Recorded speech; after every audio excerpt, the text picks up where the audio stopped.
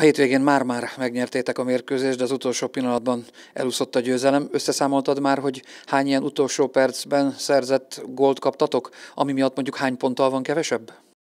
Összeszámoltam, sajnos nem jó szívvel. Már ötször kikaptunk, vagy vesztünk a pontokon utolsó perc, de foci ilyen, foci ilyen. Ha nem rugunk be a helyzeteket, sajnos ellenfel a végén rúgja egyet, és akkor rosszul járunk a végén.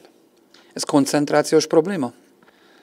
Szerintem igen, szerintem igen, meg picit nem volt szerencsök is, nagyon sok helyzet dolgoztunk ki, nagyon sok zicserünk volt, nem rúgtunk be azokat, picit időjárás is ilyen volt, amennyi nem szoktunk meg, szeles viharba is játszottunk, úgyhogy az volt. Mit lehet tenni, hogy ez ne forduljon elő többet, mondjuk pápán például?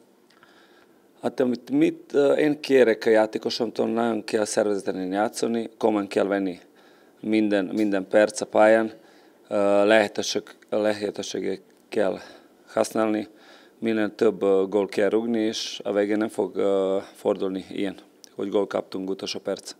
Most az ötödik helyen áll a csapat, a pápa hátrébb van jóval, újonc is ebben a csoportban, de azt mondtad, hogy nagyon szervezetten játszik.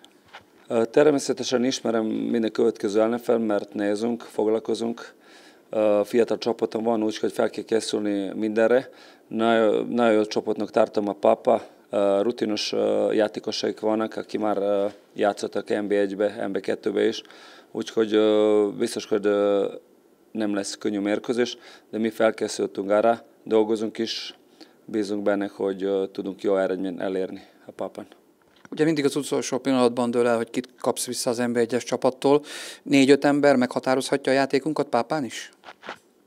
Természetesen sokat jelent, mikor kapjunk három, három, nagyjából három játékos kapjunk mindig, most elfordul kétszer kaptunk többet, de három játékos nagyon sokat nekünk jelent mert fiatal játékosaim vannak, mert viszont nekünk az a cél, hogy belepítsünk a fiatal tehetséges játékosok, hogy tudnak később NB1-be is játszani, és nagyon jó teszik az, hogy Pinter Attilatól kapunk két-három játékos minden mérkőzésre. Például nagyon játékosok vannak utánpotlásban nálunk, Mim Gergely, Deutsch, Deutsch Laci, nagyon jó tudnak fejlődni olyan játékosok mellett, és uh, tudnak kihasználni olyan lehetőség, hogy jó szempontból tudnak játszani esetleg válogatottba, meg uh, magyar NB1-be is, nálunk Puskásba.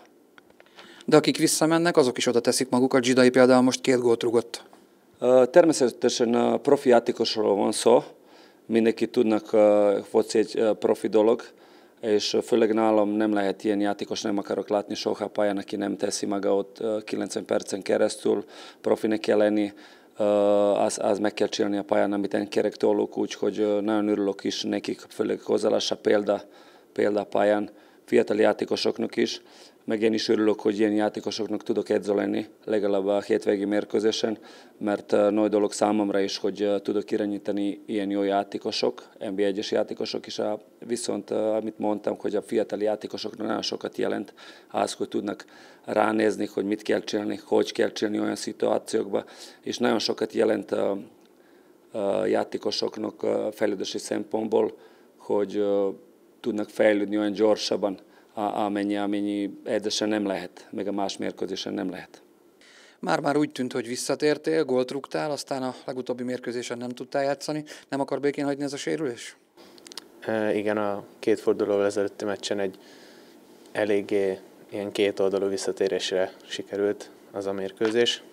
Szerencsére gólt tudtam szerezni, azonban szerencsétlenség volt ebben, hogy az első félidőben meg is sérültem újra, ugyanaz a sérülésem visszatért.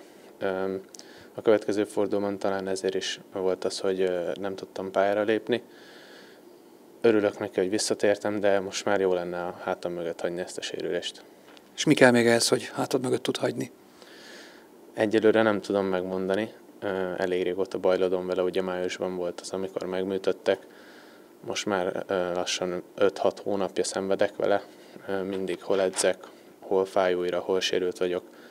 Úgyhogy valamit most meg kell csinálni vele, mert ez így nem mehet tovább. Remélem, hogy a következő hetekben most már végleg lezárhatom ezt az egész sérülés dolgot.